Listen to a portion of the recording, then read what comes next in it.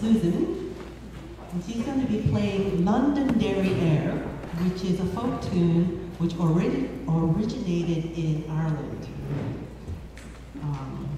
and many, lyrics and hymns are set to this tune, the popular one being